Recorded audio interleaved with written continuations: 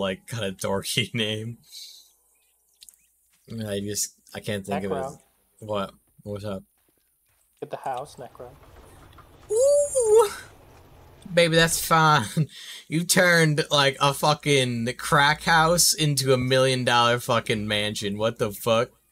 Like right there, this probably. This, I know this looks as a garage, but like as a studio home, bro, this is probably like a two hundred thousand dollar house, bro.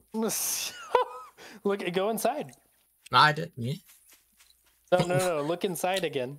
Welcome to uh, welcome to Seven Days to Die Cribs. I'm Necro. We're introducing their house today. This is my crib. Oh god, sorry about the neighbors. They'll be a little crazy out here. They kind of smell. Uh, you know what? I don't have time for this. Sorry, they get angry sometimes. Oh god, he's coming back. What do you not understand? Well, trespass would be shot again, good sir. All right. Like I was saying. I think he's dead. We're gonna talk about my crib here.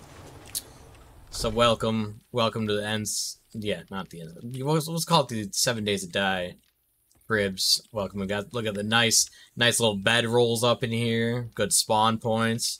We got a little oxygen flowing in.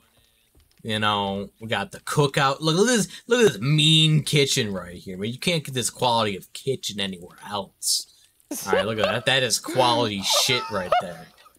All right, they got the storage bins. Look at this. That's like I gotta just gotta slap each one on top right there. Just imagine a wood plank sound.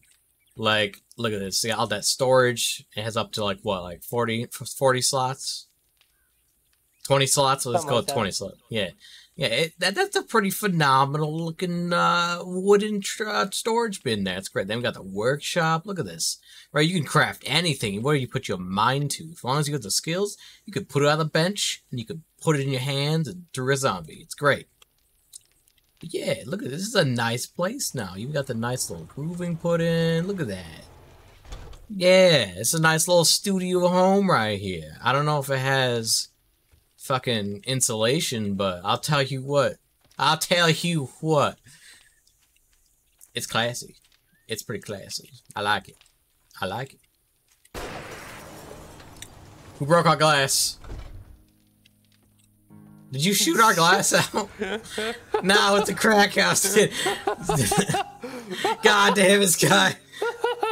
This probably can't have nice things. You could have just went in the fucking door. You gotta be a fucking animal, you fucking cat dragon bitch.